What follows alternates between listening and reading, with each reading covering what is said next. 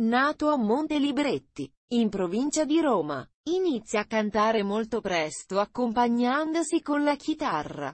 Lavora presso locali notturni, in avanspettacoli e feste patronali, sino ad essere chiamato a cantare in alcuni programmi di Radio Roma.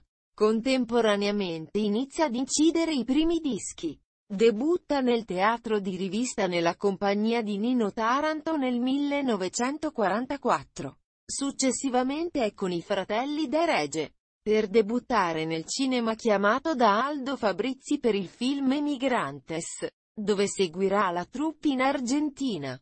Nel paese sudamericano, terminate le riprese del film, Salviati decide di fermarsi, per proseguire in quel paese la sua carriera di cantante chitarrista.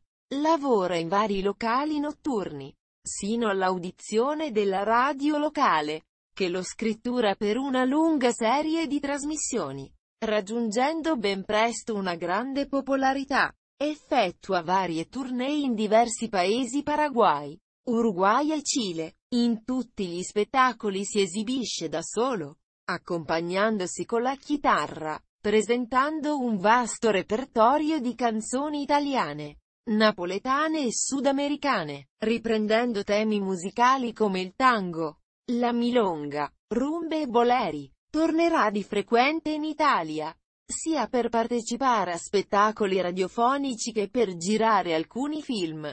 Nel 2007 dopo un lungo silenzio riappare in alcune trasmissioni televisive, dove ha modo di esibirsi nel suo vecchio repertorio. Muore a Roma nel pomeriggio del 2 gennaio 2016 all'età di 93 anni.